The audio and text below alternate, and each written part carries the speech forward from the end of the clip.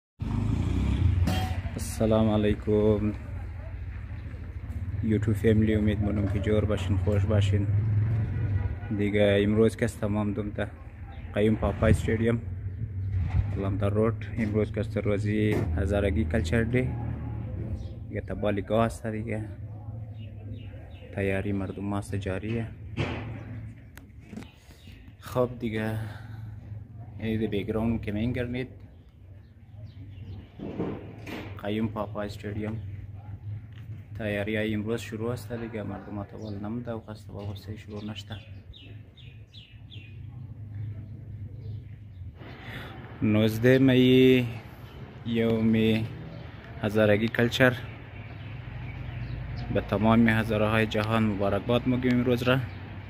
از طرف از خود خو از طرف چینل خو دیگه این امروز که است کلچر دی است این که شما میگردین تیاری های مردم است البته تبال شروع نشده کم خواست شروع میشه در قیوم پاپا استادیوم علمدار روډ امروز روزی هزارگی کلچر دی است دیگه